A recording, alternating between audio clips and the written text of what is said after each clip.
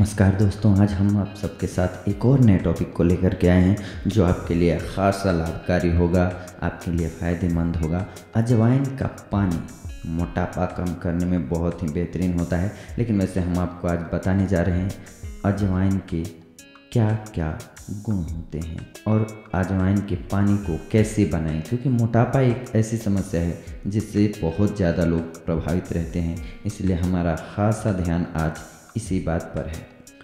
कैसे तैयार करें अजवाइन का पानी? 50 ग्राम अजवाइन लें। आप चाहें तो 25 ग्राम भी ले सकते हैं, पर 50 ग्राम ज़्यादा प्रभावशाली है।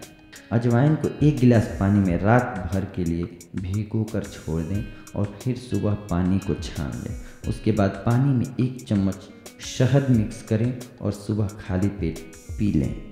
यदि आप चाहें तो उसी अजवाइन को धूप में सुखाकर फिर से दूसरे दिन भी प्रयोग कर सकते हैं। लेकिन तीसरे दिन आप नई अजवाइन का प्रयोग करें। अजवाइन के पानी को 45 दिन लगातार पिए, आपको फ़ायदा ज़रूर मिलेगा।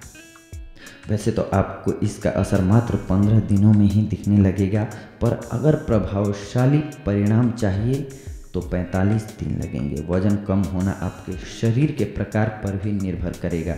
इस पानी को पीने से आपका वज़न पाँच किलो तक कम हो सकता है दोस्तों। अच्छा रिज़ल्ट पाने के लिए कुछ ज़रूरी बातों का ध्यान ज़रूर रखें। चावल पूरी तरह से छोड़ दें। रोटियों की संख्या घटा दें।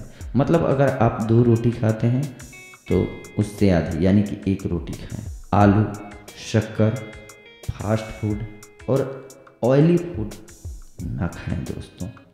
भोजन करने के एक घंटे तक पानी न पिए कभी भी।